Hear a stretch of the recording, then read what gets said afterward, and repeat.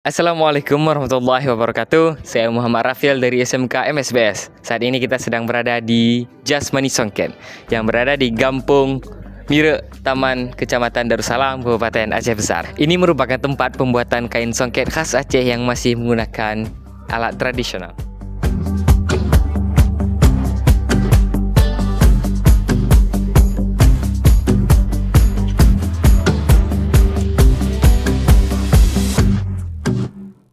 Dari mana sejarah songket Aceh itu? Kalau Saya ceritain nggak sedikit? sejarah songket yang saya tahu ya, yang saya tahu uh, sudah ada gitu, sudah ada karena di kalangan uh, Aceh besar uh, memang dari dulu ada menenun sementara bagi, da- apa namanya bahan-bahannya di diadakan dulu dari pesisir uh, Aceh Pidi sampai ke sini yang menenun, pokoknya yang menenunnya saya tahu dulu perajinnya Aceh besar. Oh, Aceh. Nah, bahan-bahannya dari daerah lain. Sejak kapan Bu, produksi tenun ini di Aceh, Bu? Kalau saya belajarnya 88 begitulah kira-kira. Nah, di sekitar tahun 90-an saya Ya. sudah bisa menenun. itu sendiri bu Ya, itu masih sendiri dan ah, saya magang ke tempat yang saya belajar di Nyakmu, mendiang Nyakmu. Saya belajar pertama satu bulan, terus berangsur. Nah, kalau apa namanya, maksudnya saya belajar tuh ada waktu ada pemerintahan Bapak Ibrahim Hasan. Nah, beliau kan ini membangkitkan kembali tenun dulu. Nah, ada pelajaran satu bulan.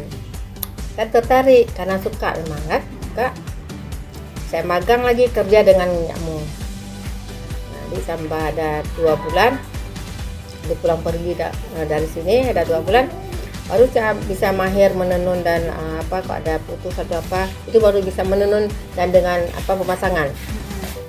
Yang kira-kira saya kerja ada setahun magangnya tahun lebih kurang gitulah kerja dengan nyamuk lah.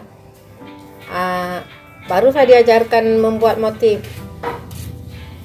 Membuat motif sulit memang untuk membuat, ya membuat motif ya. biar apa dulu waktu belajar ini bukan ah, alat tenun yang gini gedogan dulu. Oh, gedogan. Dia di, dulu di bawah. Tapi hasilnya sama. Sekarang bedanya cuma tinggi aja duduknya tinggi. Kalau dulu duduknya di bawah kayak gini. Segini lah dulu. Hmm. tapi sekarang tinggi duduknya. Agak beda sedikit cara nenunnya tapi hasilnya sama. Nah, sekarang tahun 90-an hmm, buat ada pelatihan di desa ini dikembangkan lah tenun gedogan ada ini juga ada Ya Bu, bisa ceritain nggak sedikit alasan kenapa Ibu ini masih bertahan di uh, cara tradisional buat tenun ini? Kan sekarang udah banyak pakai mesin Bu, ya. Iya. Ya kalau pakai mesin kan nilainya kan beda dengan yang tradisional. Walaupun ini buatnya lama karena tradisional dia cintanya dengan yang tradisi. Ya, Emang suka, emang apa namanya? Emang kalau orang bilang ribet, kami nggak ribet lagi karena emang udah terbiasa ya. Dari sisi sukanya, terus dari mempertahankan kelestarian juga kan ini harus dipertahankan karena satu kebudayaan kita. Dan yang terakhir kan, ini kami mau minta sedikit pesan untuk generasi muda Aceh Bu. Ada nggak dari Ibu? Oh, kalau pesan ke generasi mudah-mudahan ya, mudah-mudahan jangan sampai punah. Ini apa namanya? Maksudnya tenun ini jangan sampai punah. Kami dipesan juga sama guru kami yang di atas. Nyakmu misalnya nyakmu guru kami. Be, be, piuh, piuh menenun. Maksudnya jangan berhenti menenun. Dan pertahankan motif-motif yang ada. Itu katanya nggak bisa cerita nggak bisa cerita sedih karena anak-anak sekarang sudah maunya yang instan jadi katanya rumit sebenarnya nggak rumit kalau memang mau nggak rumit